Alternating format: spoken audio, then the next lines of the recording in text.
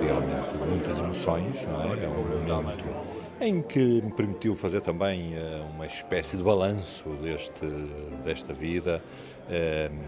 uh, com o tema estruturas da minha vida, alarguei um pouco o âmbito para além das estruturas que eu sempre ensinei, portanto, alarguei para tudo aquilo que me deu suporte e estrutura ao longo da vida e, portanto, vou percorrer um pouco de forma bibliográfica, um, biográfica a, minha, a minha vida, eh, chamando a atenção para os aspectos mais importantes. Evidentemente que é o culminar de uma vida eh, e uh, de uma atividade, em particular aqui na faculdade, que me preencheu, que gostei muito de fazer, que exerci praticamente quase todos os cargos uh, que aqui havia, que tive um muito bom relacionamento, quer com os alunos, quer com os meus colegas, e, portanto, enfim, este é um momento também em que recebo muitas mensagens, e com certeza outros vão dizer pessoalmente, e que também reforça essa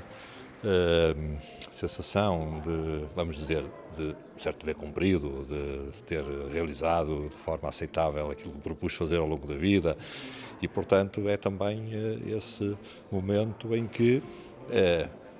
de algum modo, fecha um ciclo e inicia outro, que terá, evidentemente, alguns pontos de continuidade. Eu tenho um projeto de fazer um livro sobre três estruturas, vamos ver se, se tenho, se encontro tempo ou não para isso. Eh, mas evidentemente também quero ter agora disponibilidade para fazer outras coisas de uma forma mais livre. Evidentemente que eh, vou continuar a integrar o centro de investigação que existe, eh, Vou, como disse há bocado, ver se consigo passar a escrito a minha experiência de ensinar teorias estruturas nos tempos modernos, com os meios que hoje existem. Vou fazer um esforço nesse sentido.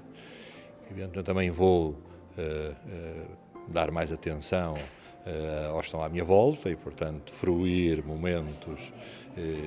com eles. E estarei disponível para, evidentemente, também dar aulas, de forma, evidentemente, agora esporádica, mas poder participar aqui ou ali ou lá, quando for a minha experiência e poder ser útil, com certeza que também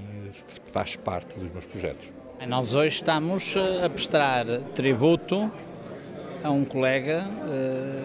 de uma grande dimensão, uh, a vários níveis, uma grande dimensão humana em primeiro lugar, uh, um colega com uma dimensão de capacidade pedagógica e científica notabilíssima, que fez escola, que fez carreira,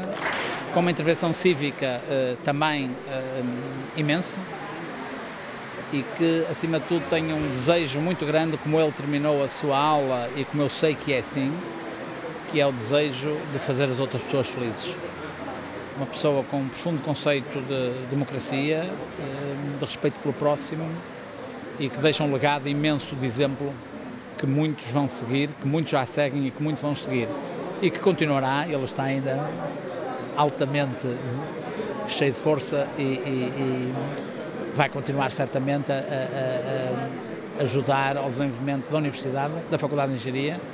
da sua área, das estruturas, mas acima de tudo da Universidade e de Portugal.